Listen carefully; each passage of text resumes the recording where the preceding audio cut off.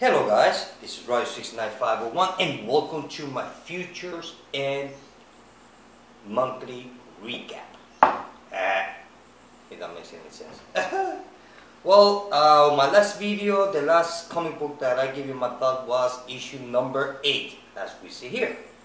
So I'm going to give you my recap uh, of from issue number 9. Wait, wait, I need something here. Issue number 9 and 10. Issue number 11 and number 12. Ah, well, so, oh, before I start, I, uh, before I start, I want to apologize for my lateness on this making, I mean, doing this video.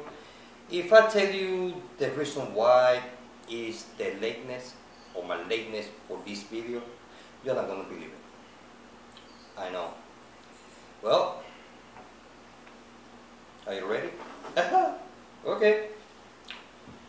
I forgot all about it.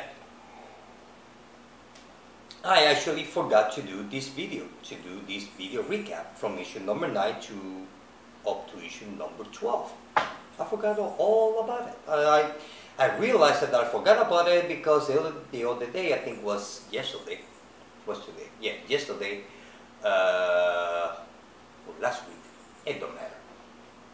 Uh, I was looking on my playlist on my on my channel. So then and then I saw the the two videos that I have with the futures. Then I was looking for issue uh, for video number three, and I look, I look, I look. Then I realized, like, oh boy, I forgot all about it. So that's why I'm right here, right now, doing this video. So I want to apologize for my lateness. Like I said, I forgot all about it. Sorry. So, ah, let's get started. Well, issue number nine. Okay, on issue number nine, what you see on the cover is actually what's going on on the inside, more or less. Uh, we see that Lois Lane, she's on the plane going to the middle of nowhere. we see Grifter, that he's still on the Cadmus Island trying to recuperate when he got shot and he cannot walk anymore and the little kid, pain the ass, trying to tell him what's going on, what he's supposed to do because they, because this little girl, the Cadmus, they need Grifter because he has the power to identify the aliens from humans. Yes, more or less, that's that's what it is. So on top of that, uh, she, the little girl, gives him a tour around Cadmus, and they went to the section where there's the prisons, where they have a bunch of people in jails. And the thing is that all the people that they have in jail, they are, they are all the superheroes from Earth 2. I'm not kidding. We got uh, Power Girl, we got Hawkgirl, we got uh, a bunch of characters here. I'm going to show you. Look at that. Look at that. All those superheroes from Earth 2, they all locked up in the Cadmus side. So then from there uh, we go to oh and the thing is that they the people that they use to kind of like uh, security guards they are all OMAC. Yes, you know remember the OMAC from the the beginning of the New Fifty Two. Well, that's it OMAC. So, God, stupid eyelash. I got a eyelash here. They's been bugging me. Sorry about this. Finally. What was I? Oh yeah. So from there we go to the prison where uh, we see Made talking to her father because her father was kind of like a spy that was working, giving information and weapons to the bad guys through the war between Earth 2 and Prime Earth. And then suddenly, uh, Rampage shows up, as we see on the cover. trying to free a guy, prisoner. And then at the same time, Superman shows up, the masked Superman. And there's a big fight, which eventually she uh, eventually uh, Rampage escapes with with uh, with Ethan with Ethan Boyer. That was it. I mean, we have like little. I mean, this issue has little little storylines. They just give you bits and pieces of the whole thing. Then from there we go to New York City, where we see Mr. Terrific. That he's looking the android that he found from the bomb, uh, from the homeless guy that come from the future, which happens to be Batman Beyond, that he was dressed up as, as a homeless with a car with bunch of junk. So between all that junk, he brought, well, he didn't bring it. He just came with him through the portal to this era because she was after him. But Batman Beyond, he ended up a little bit too late. He went to the past, but he should go on a little bit farther back, but he didn't. So a lot of stuff already happened. So the thing is that from there we go to uh, because Mr. Terrific, he's kind of like he's in love with this Android technology because beyond his imagination. Actually, this is the technology that he that he thought about it in theory. So I mean, he just he's in love with this technology. He can see all the all the good things that he can do with it. Uh, let's see what else we see. That remember on my previous video that uh, that the doctor chopped Hawkman's arm to attach it to Frankenstein. Well, no, he did that. The thing is that Hawkman he was not dead. He just woke up because he has a psych metal on his system that for some reason he cannot die. And whatever extremities he lost, like a leg or an arm or a wing, well, eventually will re-roll. It will roll back. So that's pretty cool power. So that's this is kind of like the first time where Hawkman and Frankenstein they kind of meet each other. Because Hawkman was part of the Stormwatch, which was the spaceship on my previous video that got destroyed. So he was the only survivor, according to the story. Now, this is issue number 9. So, it was okay. Now, issue number 10. I mean, the story is getting better and better and better.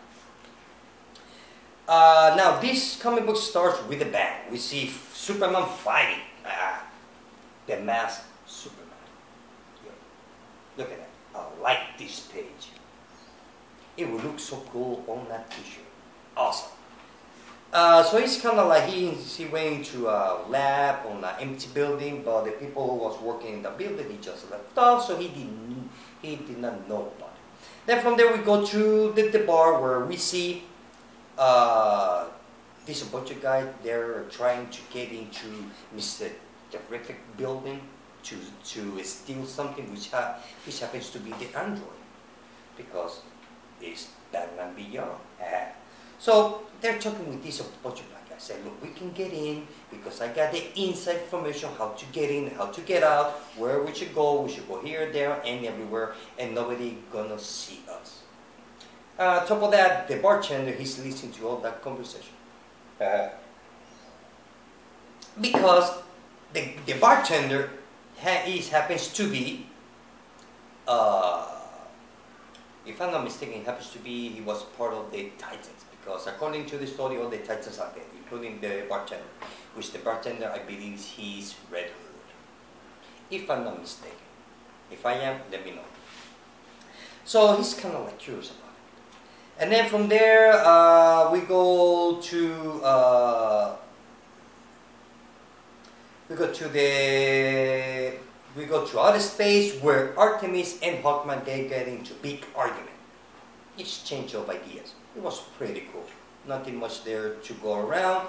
And then we go back to the Cadmus Islands where Grifter, he got punched by an invisible omen, which nobody believes that it was invisible omen. So, well, he got his ass, he got his ass kicked big time. And then there's a good part of this comic book where I really like is that this woman she's working on the shelter, gi- uh, giving away food to the homeless, and that woman happens to be, you will never guess, yep, no, it's not her, happens to be Big Barda, and the and the, the girl was looking at that it was spying on Big Barda, but it happens to be Emiko if some of you doesn't know who Emiko is, well, Emiko is Green Arrow's half sister. The Emiko that appears on the Green Arrow series right here. The one, the woman that has the bow and arrow, well, that's uh, Green Arrow's half sister. Her name is Emiko. Just in case uh, you wonder who Emiko is, well, she appears on this issue, on this series actually. So, kind of like inside information. So issue number 11, ah, the story is getting better. Check this out. Well, issue number 11, we see what we see on the cover is exactly what's going on, on the inside. So here we see that we see uh, Voodoo. Yeah, the same Voodoo that on the beginning of the New 52. Well, here she's, she, I don't know if it's the artist or not, but she looks skinny.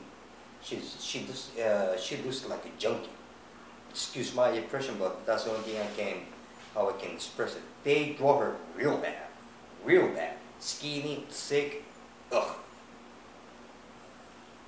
It's like she was in an apartment with a bunch of bad guys. She was kicking ass all over, all over the place. Nothing much there going on. This is kind of like an introduction, a little bit more of voodoo.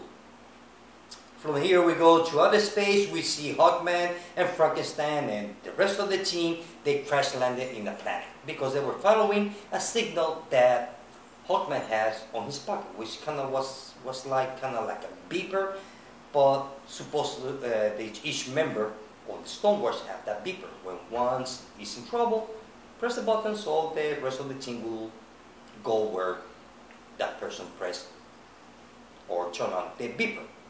Well, the thing is that well, apparently none of none, not all of the Stormwatch team were there, so they were following the signal of that people, and they crash landed in a planet where that member of Stormwatch is. And then from there we go to, we're still working, we're still reading about Mr. Terrific, that he's still in love with that technology, and then he's, and then he decided to appear on a TV show, kind of like a talk show, like Barbara Walters, kind of. Well, they just telling about his technology, how he's going to be so good, and everybody should have it because he's a revolution, and all that business crap. So, and then from there we go to the sea, uh, Madagascar Sea, where another android shows up. There are a lot of androids in here. They just kind of like sink the, the ship. I didn't know why it was here. Maybe that's some other subplot, but Didn't see why it's there. And then from there we go, we, we go to the Justice League Space Tower. So in five years from now, they already built it, which was cool. So and then here, the thing is that here we see all the, the Justice League members, including the new Superman. So uh, let's see what else. The thing is that they are talking with a Firestorm. You know, the Firestorm, they use two different persons that they combine and they become Firestorm. So they were, they want them, they want Firestorm to be part of the team. The team, the thing is that the two persons, which I forgot their name, uh, they don't like each other because the Justice League did not know the reason why Green Arrow died.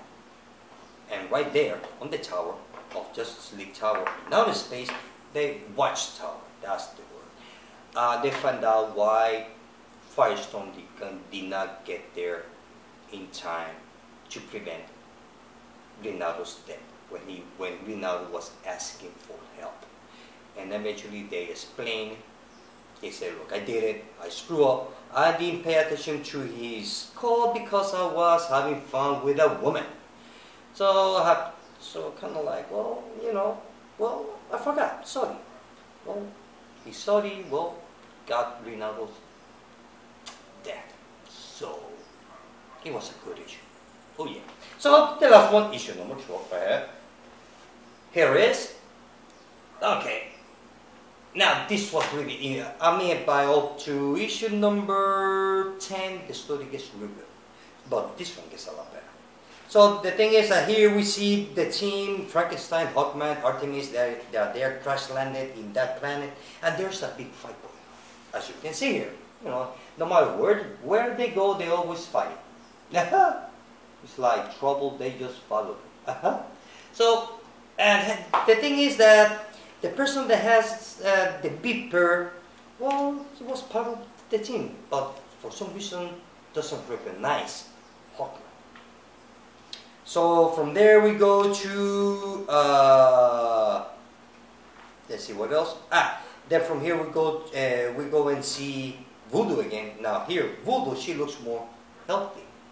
She gained some weight from issue number 11 to issue number 12. And 10 pages, she gained some weight. she even have a new haircut.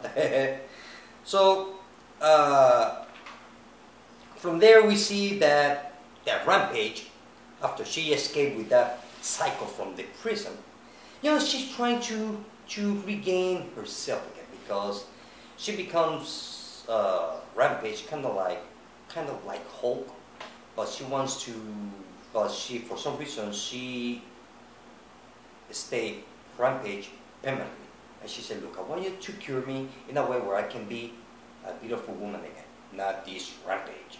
And the guy said, okay, cool, cool, fine, I'm gonna gonna do this, and the guy just talking, talking, talking, till he get Rampage, till, till Rampage lost her patient. And the guy say, okay, fine. Since uh, you don't want to listen what I'm gonna say, what I'm gonna cure you, I'm gonna give you the, cure, you're gonna be back to normal, and you can live your life.